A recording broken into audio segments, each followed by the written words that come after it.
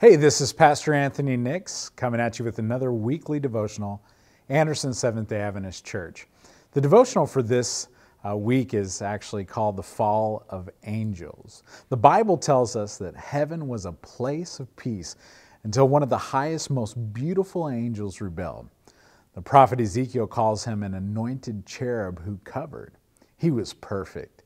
To understand what a covering cherub is, we need to understand a unique building God instructed Moses to make called the tabernacle.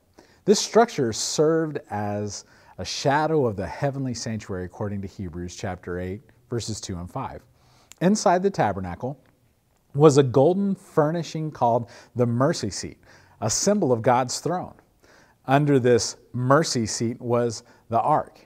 Inside the ark was the law of God. Moses was commanded to make two inanimate cherubs or angels to cover the ark.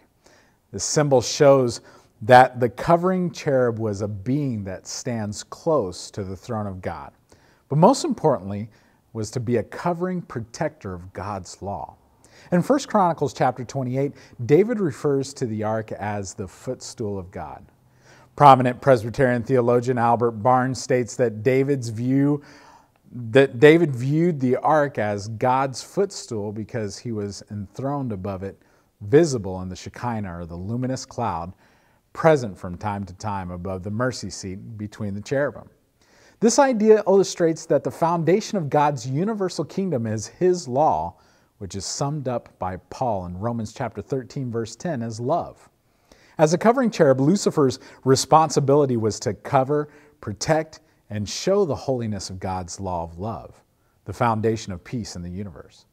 But the Bible tells us that iniquity was found in this angel. Iniquity, another word for sin, is also described in 1 John 3 4 as transgression of God's law. After Lucifer transgressed in his heart, he convinced other angels in heaven to rebel with him against God's law.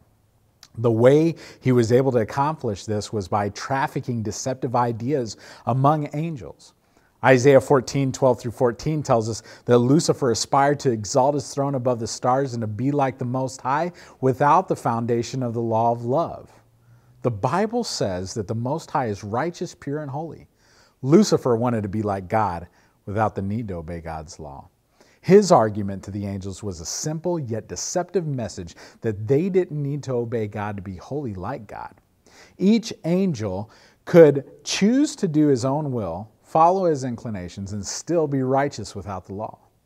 But in rebelling against the law of love, the result could only lead to hate. When Lucifer sinned, it caused a divide between him and God. Isaiah 59, 1 and 2 tells us that our iniquities have separated us from a God, from God. A war broke out in heaven, a war of ideas. And Revelation 12, 7 through 9 tells us that Lucifer, now Satan, and his angels were banished from heaven, and Satan would continue the war. But now he would aim to hit God where it hurts the most, with his creation. Join us next week as we explore how Satan was able to trick God's creation into joining his rebellion and how the war continues to this day. If you really found this interesting, I have an offer for you. We're actually getting these devotionals from a source called the Blueprint, God's GPS. You can get that free of charge if you just comment below and let us know that you're wanting it. May God bless you and have a good week.